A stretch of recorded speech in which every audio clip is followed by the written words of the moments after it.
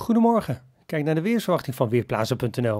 Op de satellietfoto zien we veel bewolking boven Nederland en uit die wolken valt af en toe wat motregen. De wolken en de motregen trekken van noordwest naar zuidoost, dus het hele land heeft ermee te maken. Temperaturen zijn uh, verre van laag, 7, 8 graden vanochtend en vanmiddag loopt de temperatuur op tot rond 10 graden. In zuiden kan het 11 graden worden. En ook vanmiddag hebben we nog steeds de paraplu nodig, al lijkt het vooral in het westen en noorden dan wel wat vaker weer even droog te zijn. Vanavond trekt een nieuw regengebied van noord naar zuid, dus ook dan van tijd tot tijd regen en motregen en blijft zeer zacht, temperaturen rond de 10 graden. Wind waait vandaag uit het zuidwesten tot westen. Morgen opnieuw een zuidwestenwind, neemt in de middag dan wat af. In de ochtend valt vooral de motregen, dus dat is het grijze weer. Smiddags dan heel misschien ook af en toe wat zon erbij.